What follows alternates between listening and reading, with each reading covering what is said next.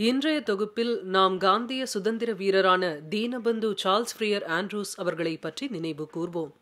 ஆயிரத்து தொள்ளாயிரத்து நான்காம் ஆண்டு மார்ச் மாதம் இருபதாம் தேதி இந்தியாவிற்கு வந்த அவர் டெல்லியில் உள்ள செயின்ட் ஸ்டீஃபன்ஸ் கல்லூரியில் சேர்ந்தார். இந்தியாவில் தங்கியிருந்த நீண்ட நாட்களில் இந்த பிரிட்டன் சமூக சேவகர் இந்திய மக்களின் சமூக பொருளாதார பிரச்சினைகள் மற்றும் அரசியல் பிரச்சினைகளுடன் தன்னை அடையாளப்படுத்திக் கொண்டார். ஆங்கிலேயரின் இனம் சார்ந்த மற்றும் ஏகாதிபத்திய ஆட்சிக்கு எதிராக மகாத்மா காந்தி கோபாலகிருஷ்ண கோகலே மற்றும் பல முக்கியமான இந்தியர்களுடன் சேர்ந்து போராடினார்.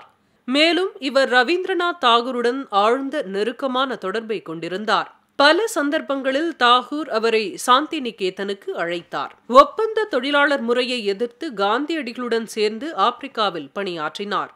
அங்கு வாழும் இந்தியர்களுக்கு அடிப்படை உரிமைகளை பெற்றுத் தருவதில் வெற்றியடைந்தார். இந்தியர்கள் அவரை தீனபந்து என அழைத்தனர். ஏழைகள் மற்றும் ஒடுக்கப்பட்டோரின் நண்பன் என்பது இதன் பொருளாகும்.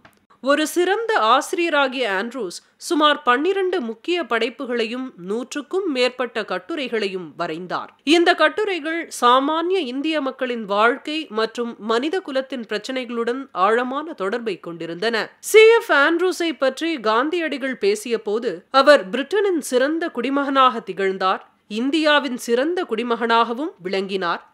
அவரை காட்டிலும் சிறந்த மனிதரையும் சிறந்த கிறிஸ்துவரையும் நான் சந்தித்ததில்லை என்று புகழாரம் சூட்டினார். ஆண்ட்ரூஸ் அவர்களின் மூலமே காந்தியடிகள் ரவீந்திரநாத் தாகூர் அவர்களை சந்தித்தார். காந்தியை மேற்கத்திய நாடுகளுக்கு விளக்க அவர் முயன்றார். மேலும் இந்திய தலைவர்களுக்கும் பிரிட்டிஷ் அரசாங்கத்திற்கும் இடையில் பேச்சுவார்த்தை நடைபெற வாய்ப்புகளை உருவாக்குபவராக இருந்தார். குருதேவ் ரவீந்திரநாத் தாகூர் அவர்களுடன் விஸ்வபாரதி உருவாக்குவதில் நெருங்கி வேலை செய்தார். மேலும் அவர் தாகூருடன் இந்தியாவிலும் வெளிநாட்டிலும் பயணம் செய்தார். இந்த சிறந்த காந்தியவாதிக்கு தலை வணங்குவோம். ஆயிரத்து தொள்ளாயிரத்து நாற்பத்தி மூன்றாம் ஆண்டு மார்ச் மாதம் இருபதாம் தேதியன்று நம் நாட்டிற்காக உயிர் துறந்த சுதந்திர போராட்ட வீரரான ககபதி போத்ரா அவர்களை நினைவு கூறுகிறோம். ஒடிஷாவில் உள்ள கோராபுட்டில் வசித்து வந்த ககபதி ஆயிரத்து தொள்ளாயிரத்து நாற்பத்தி இரண்டாம் ஆண்டு ஆகஸ்டில் நடந்த வெள்ளையனே வெளியேறு இயக்கத்தில் ஆர்வத்துடன் பங்கேற்றார். ஆங்கில காவல்துறையினரால் கைது செய்யப்பட்டு நபரங்பூரில் சிறையில் வைக்கப்பட்டார். நபரங்பூர் சிறையிலிருந்த சுகாதாரமற்ற வாழ்க்கை சூழல் மற்றும் மருத்துவ பராமரிப்பு இல்லாத காரணத்தால் ககபதி அவர்கள் நோய்வாய்ப்பட்டார்.